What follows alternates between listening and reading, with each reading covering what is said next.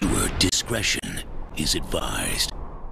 السلام alaikum. Hello everyone. Привет, друзья. Ohio, minasan. Hello everyone. My name is Hamza Salem. It doesn't matter what your name is. I'm a developer and in this video I will show you a tool that I created that will help you to learn any language. Hold up.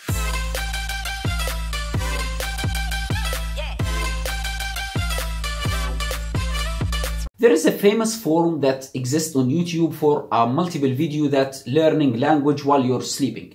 And the, the, the idea of these videos that this video or this video have some sound that will, um, let's say, increase that your concentration and it have some sentence from this language that you want to learn. For example, learn Russian, learn Japanese, whatever.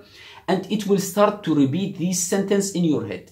The main idea that you will put this and fall to sleep and after it like after a while you will start remember this stuff.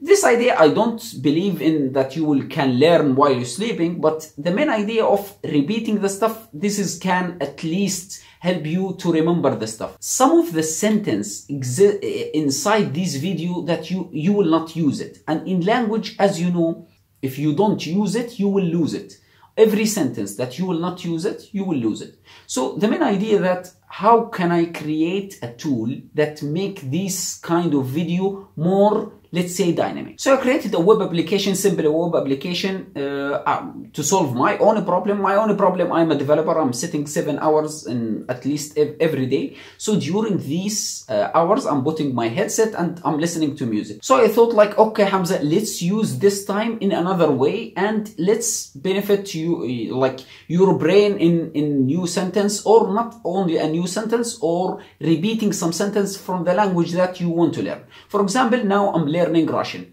So what I will do is very simple. As you know, in Google Translator, there is a feature called phrasebook. And this is when you save or you can put like a favorite on any sentence that you translate, it will be saved in a phrasebook. And in using this phrasebook, you can go and export it to a sheet like Google Sheet. And after it, you can copy paste this stuff and put it inside the tool and just start like uh, uh, choose the language that you want, choose the speed that you want to repeat and just click start.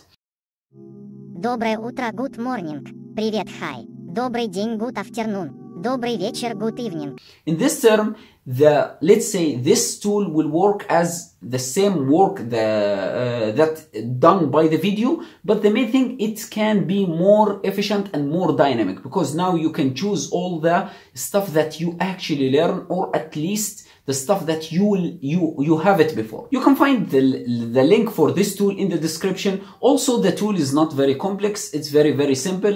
Inshallah maybe i will create like a some video how how we can improve this tool or create like a version 2 version 3 and uh, that's it